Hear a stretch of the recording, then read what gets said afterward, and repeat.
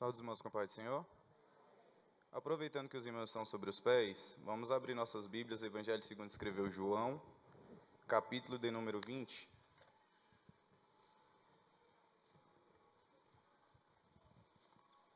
Evangelho de Jesus, escrito por João, capítulo de número 20, versículos 1 a seguir.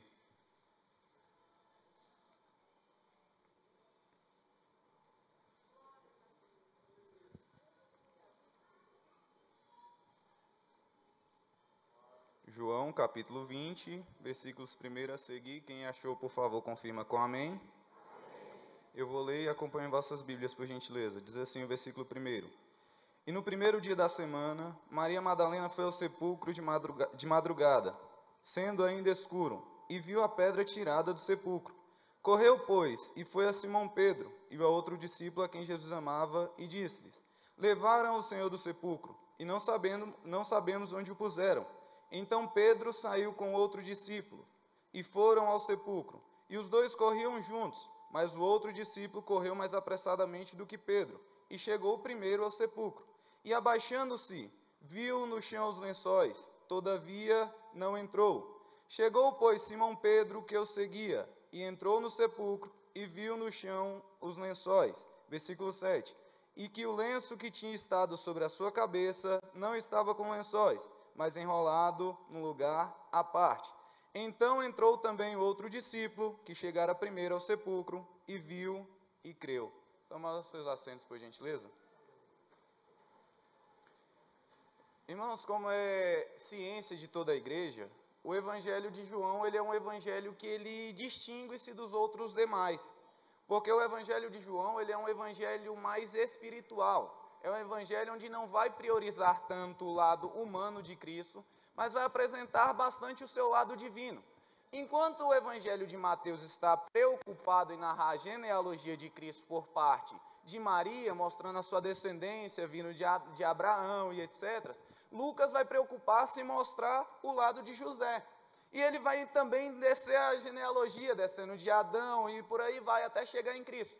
Só que João, ele é diferente dos demais. Enquanto os demais mostram que Deus, ou que Cristo havia derivado, ou que vinha da genealogia de A, B e C, João ele já não começa seu evangelho desse jeito. Ele já começa mostrando um lado divino de Cristo. E é lindo o início do evangelho de João, e tem uma das declarações mais belas de todo o Novo Testamento, que ele começa dizendo assim: No princípio, ele era o Verbo. E o Verbo estava com Deus. E o Verbo era Deus. O que ele está narrando? Ele está mostrando que antes de Cristo ser concebido aqui na terra, a sua ele já existia na eternidade. Como diz o credo de Nicéia, Cristo ele não é gerado, não é feito, ele é gerado porque ele já havia existência. E João ele começa a narrar isso. João é tão belo isso, o evangelho, que Clemente de Alexandria, ele vai chamar João, o evangelho de João de o evangelho espiritual justamente porque vai narrar encontros de Cristo com o homem. E raramente nós encontramos alguma história na Bíblia onde Deus encontra um homem e essa pessoa permanece da mesma forma. Raramente nós vamos ver na Bíblia Sagrada um encontro de Cristo com alguém que algo diferente não venha a acontecer. Prova disso somos nós aqui. Na grande parte das vezes, ou cada um de nós temos uma história antes de Cristo. Provavelmente alguns desacreditados, alguns que ninguém dava nada, alguns que outros olhavam e diziam: esse aí não tem jeito. Mas Cristo entrou nas nossas vidas, mudou a nossa história e fez com que as pessoas olhem e vejam a diferença em nossas vidas. E Cristo, ele, ele vem, mas eu sempre gosto, antes de mencionar o porquê, é necessário nós entendermos um pouco a história, o panorama da salvação.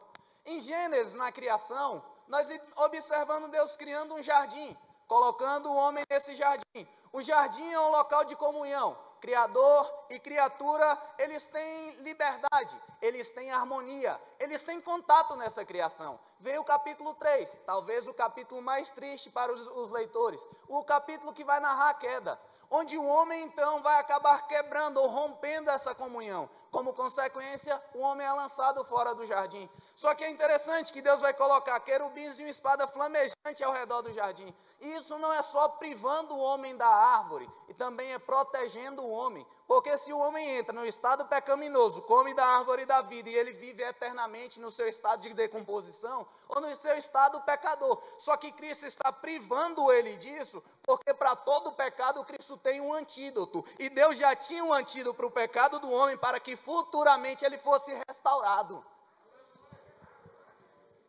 E o homem ele é separado. Em todo o Antigo Testamento nós vamos observar essa separação. Porque o pecado faz isso, ele distancia, ele cria uma barreira onde o homem não tem coragem de arrepender-se, ou não tem coragem, ou não consegue chegar até Deus. E esse pecado ele faz isso. Isaías 59, 2 vai narrar justamente isso. Sabemos que os nossos pecados, ou que as vossas transgressões, fazem separação entre vós e Deus. E todo o Antigo Testamento vai narrar isso. Êxodo 19, por exemplo, quando Deus vai dar o decálogo, ele fala com Moisés: olha põe limites para o povo. Você sobe ao monte, o povo fica distante. Por quê? Por causa do pecado. Então o povo tem que distanciar. Outro exemplo claro disso, Êxodo 28. Quando nós vamos observar o véu do templo que existia, o templo, o tabernáculo, ele tinha suas divisórias: átrio, san, lugar santo, santo dos santos. Mas tem uma cortina que está separando. É justamente isso: é, é separando a presença do Santíssimo do homem pecador. Outro caso clássico disso que nós vamos observar é também no Antigo Testamento, quando ele estipula o sacerdócio. Como era que funcionava o sacerdócio? O, o, pecador, ele chegava com a sua oferta, entregava ao sacerdote e o sacerdote apresentava a Deus, porque o homem está separado. Só que é importante nós observarmos, e eu acho lindo isso, porque todas as vezes em que o homem ou que o Antigo Testamento menciona essa separação, existia um cordeiro intermediano, ou um cordeiro fazendo a ponte. Gênesis capítulo 3 ainda, quando o homem peca, Deus aparece no jardim. O que o homem faz? Esconde-se. Só que aí é interessante, eles estão cobertos com folhas. Aí a Bíblia vai narrar que Deus mata um animal. Alguns estudiosos dizem que foi um cordeiro. E o cordeiro está cobrindo justamente isso, a nudez. No Antigo Testamento, ainda, quando nós vamos observar todos os sacrifícios, durante o sacrifício diário, também no Yom Kippur, ou dia da expiação, Levítico 16, nós vamos observar que tinha cordeiro. O cordeiro fazia com que o pecador ele fosse aceite ou aproximado de Deus, porque não tem como o pecador aproximar-se de Deus se não for por intermédio do cordeiro. E João vai ver e vai perceber isso, e na sua declaração em João capítulo 1, versículo 29, quando ele olha para Cristo, ele vai dizer: Eis aí é o cordeiro de Deus que tira o pecado do mundo. Então o pecado separou, mas o cordeiro aproxima. O pecado faz o homem distanciar, mas por causa do cordeiro nós somos trazidos para perto.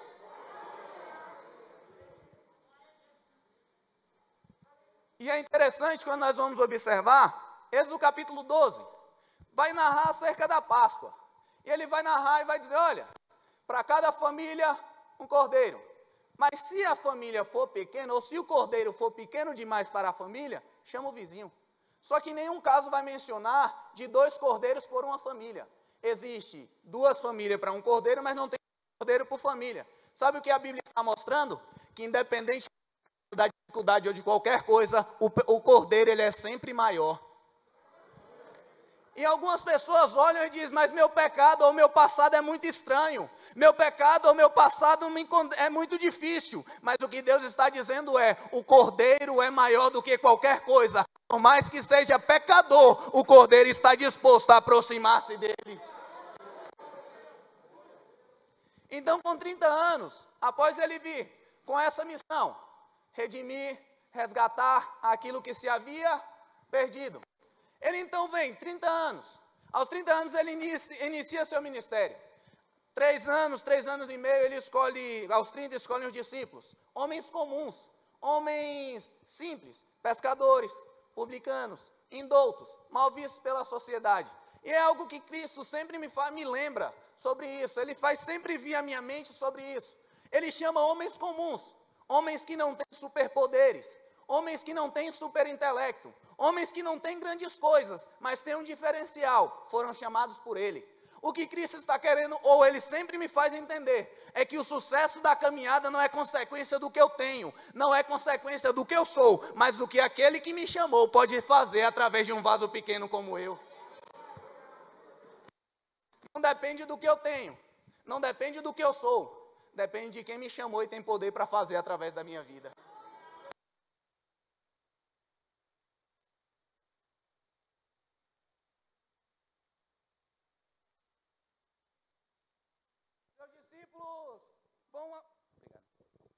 Eles ficam três anos a três anos e meio aprendendo. Até que Cristo vai encerrar sua, aquilo que ele veio fazer. Ele veio comprar ou pagar uma dívida que não é que não é, ele vem pagar essa dívida. Mas para isso ele é escarnecido. Para isso ele passa por pelo menos seis julgamentos. Para isso ele é zombado. Mas ainda assim, como cordeiro, ele não abriu a sua boca. Ainda assim, porque ele tem o seguinte: ele está fazendo o que ele tem que fazer na terra, mas ele sabe que o céu tem um propósito sobre ele. Sabe que nós, o que nós precisamos entender? É que nós temos vários afazeres no nosso dia a dia, mas nenhum desses afazeres pode ser maior do que o propósito que o céu colocou sobre as nossas vidas para exercermos. Até ele chegar no ápice do seu, para concluir aquilo que ele veio, que é o seu brado. E o brado é um brado muito conhecido de toda a igreja, tetelestai ou está consumado. E essa expressão era usada no comércio. Quando estavam vendendo os animais, alguém começava a assimilar um leilão. E alguém dizia, eu dou X, outro X. Quando finalizava, o pregoeiro ou leiroeiro diria, falaria, tetelestai, está pago, está consumado, acabou. E é justamente isso que Cristo está fazendo. É justamente isso que Cristo faz. Quando ele exerce aquilo que ele veio exercer, ele dá o brado: está consumado. A dívida que não era minha está paga. Está consumado. Aquilo que eu vim fazer, eu já está feito. Está consumado. O povo que eu vim comprar já foi comprado. Está consumado. Aquilo que eu vim exercer, já está feito. Aí Pedro vai complementar isso, 1 Pedro capítulo 1, versículo 18, ele vai dizer, olha, Sabemos, porém, que não fomos comprados com as coisas corruptíveis, como ouro ou prata, da vossa vã maneira de viver, mas com ele precioso sangue, como de um cordeiro puro, limpo imaculado. Chegamos no texto. Vem então o sepultamento. José de Arimateia, ele vai anonimamente e vai pegar o corpo de Cristo, empresta-lhe o sepulcro, coloca-se o corpo no sepulcro e é fora da cidade. A exemplo disso, João capítulo 11, o velório de Lázaro. Nós vamos ver que Cristo vai fora da cidade, porque era dessa forma que procediam. Inclusive, algumas cidades, quem já foi para o Nordeste, tem esse costume ainda de colocar o cemitério fora da cidade. É justamente isso. Ele vai e é colocado neste local. Só que aí entramos no texto. E no primeiro dia da semana. E no primeiro dia da semana, Maria Madalena e outras Marias, outras mulheres, vão ao sepulcro. Só que tem algumas coisas que chamam a atenção. Ela está num dia importante e ela está indo num local que ninguém queria ir. Eu garanto que quem é assalariado ou quem recebe algum dinheiro jamais vai chamar alguém e vai dizer: "Vamos ali passear". Onde? No sepulcro. Eu garanto que eu jamais vou fazer isso. Se bem que nós poderíamos tentar um dia, vai aqui. Então assim, ninguém jamais vai fazer isso, porque não é um local agradável, porque não é um local muito bom. Sabe o que Maria está me mostrando?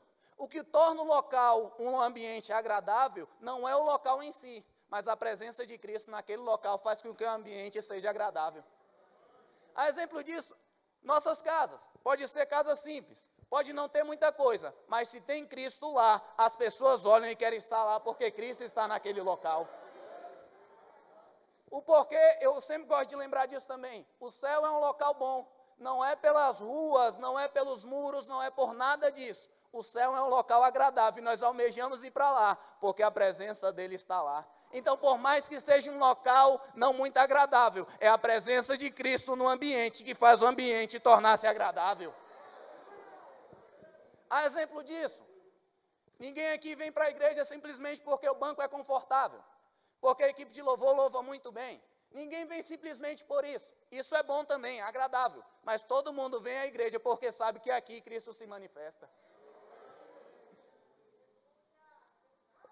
E ela vai, no primeiro dia da semana, bem cedo. E é isso é outra coisa que chama muita atenção. Bem cedo. Sabe o que ela está mostrando? Eu tenho muitos afazeres, mas Cristo é a minha prioridade. Eu tenho muito. E nós vivemos numa época em que o tempo está voando, nós não temos tempo para quase nada. É muito rápido as coisas. Só que o que Maria está me ensinando é: por mais que o dia seja tão corrido, Cristo é minha prioridade, então eu tenho que ter tempo para Ele. E ela vai. Só que ela vai ungir ou entregar especiarias, ou ungir seu corpo com especiarias. Era uma mistura aromática. E é, é engraçado isso, que ela vai. Ela está com misturas. Um, dois, testando. Misturas para ungir o seu corpo. Só que ela acompanhou toda a trajetória da crucificação, ela acompanhou entre, colocando o corpo no sepulcro, e ela acompanhou também colocando uma grande pedra sobre o sepulcro. Mas aí que está. Como é que ela está preparando algo para entregar, sendo que tem uma pedra atrapalhando a sua entrada? O que me chama a atenção, nós sabemos que é a história que o anjo vem, remove a pedra, etc. Mas o que chama a atenção não é o anjo fazer isso. Ela estar preparando algo para lhe entregar, sabendo que tem alguma coisa impedindo. Sabe o que Cristo está mostrando? é que eu somente tenho que preparar o meu aroma para lhe agradar. Porque tudo aquilo que impede a nossa passagem pode deixar que ele mesmo remove. E é uma especiaria aromática. O odor é bom. Só que outra coisa interessante é que essa especiaria ela traz consigo da sua casa. Ela não acha um jardim, algum local e pega. Ela prepara na sua casa e leva consigo. Porque eu não posso entregar a Cristo algo que eu não trouxe. E nós estamos acostumados, e na grande parte das vezes achamos que o culto começa na igreja. Quando na verdade o culto começa quando eu estou preparando a minha especiaria para ele entregar. Exemplo disso, 1 Samuel 16. Quando Deus vai falar com o profeta, vai dizer: Olha, enche o teu vaso de azeite e. E. E vem. Cristo, Deus não fala que vai encher o vaso dele, mas manda ele vir com o vaso cheio. Porque não começa aqui. Aqui eu complemento. O culto ele tem que começar na minha casa, quando eu estou preparando algo para ali entregar.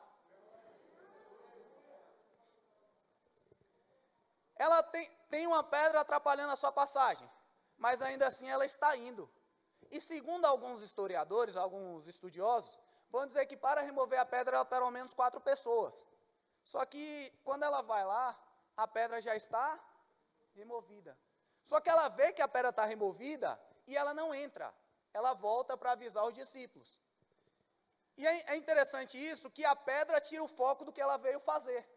Porque ela foi para entregar aroma, especiaria. Só que quando ela vê a pedra, ela fica tão encantada com isso, que ela volta. E na grande parte das vezes acontece similar nos nossos dias. Nós até queremos entregar algo, mas na grande parte das vezes ficamos nos preocupando com pedras que temos que remover. Sabe, mas sabe o que Cristo está novamente nos fazendo lembrar? É que eu só tenho que preocupar em entregar minha especiaria, porque tudo aquilo que é porta fechada, que é pedra que atrapalha, tudo que é muro que está no caminho, Ele mesmo remove e nós conseguimos entregar.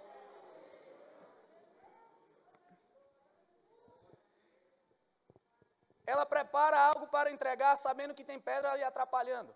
Só que quando ela faz isso, acontece pelo menos três coisas. Primeiro, ela vê algo sobrenatural, que segundo o Evangelho, ela vê o anjo. Segundo, o anjo fala com ela. E terceiro, ela experimenta algo que ninguém havia experimentado. Sabe o que Cristo está mostrando? É que eu tenho que deixar de me preocupar com pedras e me preocupar somente em entregar aquilo que eu vim entregar para Ele. Exemplo disso, culto começou 18 horas, mas tem gente até agora preocupado com pedras lá fora. Mas o que Cristo está mostrando é, já que veio, participa, já que veio, adora, já que veio, entra para conhecer, já que veio, participa.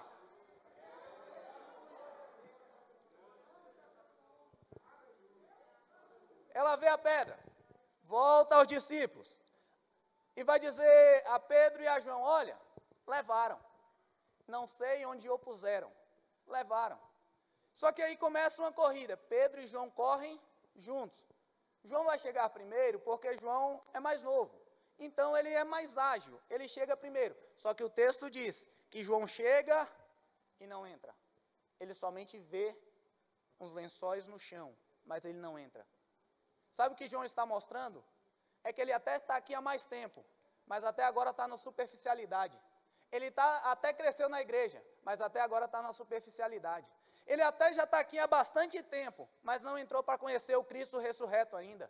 Sabe que, mas é engraçado que quando Pedro chega, ele não se preocupa em olhar pedra, ele não se preocupa em olhar para Maria, ele não se preocupa na roupa que, que João está vestindo, ele somente entra para conhecer. Sabe que, o que Pedro está mostrando? É, eu não quero superficialidade, já que eu estou aqui, eu vim para conhecer o Cristo que ressuscitou e que muda vidas.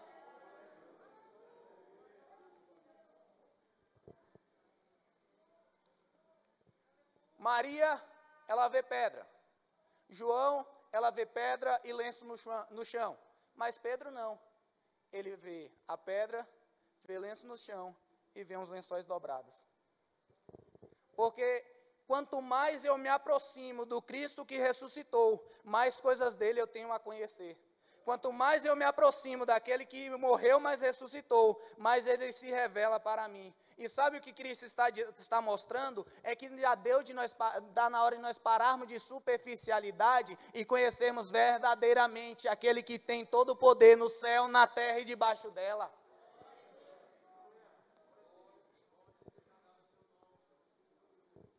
Pedro entra, mas João está primeiro. Pedro entra, mas João está aqui está há mais tempo. E é engraçado que nós vemos algumas situações similares. Na grande parte das vezes nós vemos pessoas recém-convertidas termos muito mais experiência, nada contra, muitas experiências. E a grande parte das vezes eu falo por mim que já aconteceu e eu fiquei perguntando, mas por quê? Mas por que fulano viu isso, vive aquilo, tem isso, tem aquilo, acontece isso, isso e isso? Aí Deus começou a me mostrar que não é decorrente do período que eu estou, mas sim do quão profundo eu estou.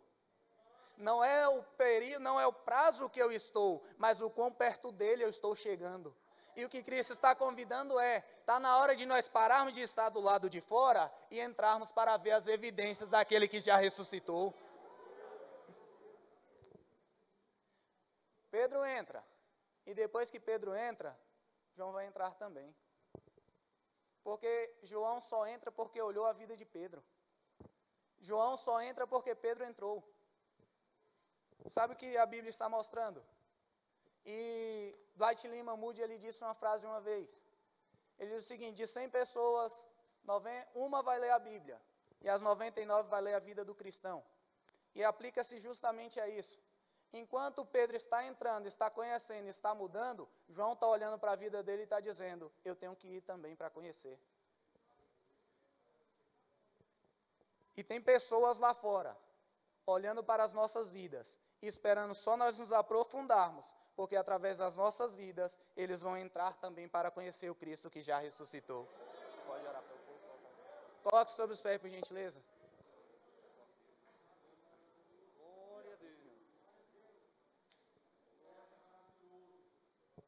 João está primeiro. João está há mais tempo. João até chegou na frente. Mas é Pedro que está conhecendo. E Cristo não chamou ninguém, ou não nos chamou simplesmente para estarmos. Chamou para conhecê-lo, para conhecermos Ele. E o que Ele está dizendo é: não é para olhar pedra, não é simplesmente para ver o sepulcro, não é simplesmente para ver o ambiente, é para ver que aquele que opera, ele tem todo o poder e vivenciar essas experiências. E através disso, pessoas elas precisam olhar e ver que nós temos algo diferente. E através dessa diferença, eles virem também. É, é importante nós observarmos, Êxodo capítulo 3, quando a sarça chama a atenção de Moisés por causa do fogo que consome, que está queimando, mas não está consumindo, ele está vendo algo diferente porque sarça era comum, era uma planta normal onde ele estava. Só que no meio dos tantos normais tinha alguma coisa diferente. E é justamente dessa diferença que deve existir as nossas vidas. Porque as pessoas, ou o mundo está repleta dessas pessoas que são normais. Mas Cristo está dizendo: é através da diferença que está na tua vida que pessoas vão serem alcançadas. Curve sua cabeça, por gentileza. Soberano, eterno e grande Deus. Te adoramos, Pai, por tudo. Te agradecemos, Pai, pela oportunidade de estarmos na tua casa. Obrigado, Pai, pelos louvores que foram ministrados aos nossos corações. Pai, que o Senhor nos dê graça para aprofundarmos o conhecimento acerca de Ti, Pai. Deus, que saiamos dessa superficialidade. Pai, que nós saiamos desse, desse mesmice, dessa mesmice, Pai. Mas que nós possamos experimentar o Teu sobrenatural, Pai. Nós não queremos simplesmente estar no ambiente, nós queremos vivenciar a diferença que o ambiente proporciona. Deus, muito obrigado por tudo, em nome de Jesus. Amém. Antes de devolver o microfone, há porventura alguém em nosso meio que ainda não professou a Cristo como seu único e suficiente Salvador e quer fazer similar a Pedro. Já chega de superficialidade, já chega de simplesmente ouvir falar pelo, por intermédio de outros, mas quer vivenciar experiências com Ele. Alguém porventura no nosso meio? Caso não, ou até mesmo nos acompanhando nas redes sociais. Caso não, Deus abençoe e conceda uma nova oportunidade. Eu agradeço a oportunidade em nome de Jesus.